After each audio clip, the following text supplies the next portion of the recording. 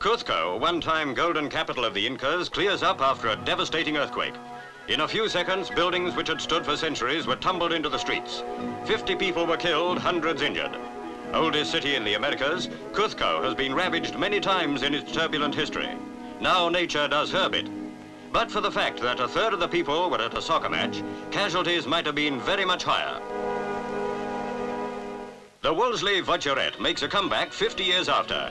To be precise, she's 51 years old and was found enjoying a well-earned rest in a forgotten corner. When they got her tidied up a bit, she began to give them ideas. In her youth, she'd been a bit of a goer. Could she do it again? George Dono churned her up and three and a half horses stampeded. John Nixon thought she'd do it.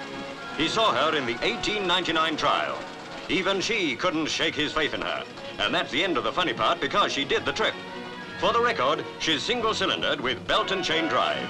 We still count on the same fine craftsmanship to build fine cars.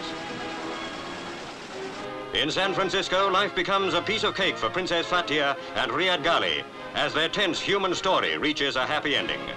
From faraway Egypt, King Farouk banned his sister's marriage to a commoner. But love found a priest who wasn't afraid. The happy couple will have to face the music. So they're practicing.